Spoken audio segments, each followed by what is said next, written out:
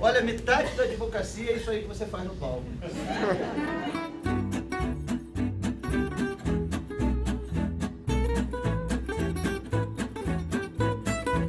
Já pensou você começar uma carreira na televisão? Você é muito bonita, você não imagina quanto. Tem muita mulher bonita, Álvaro.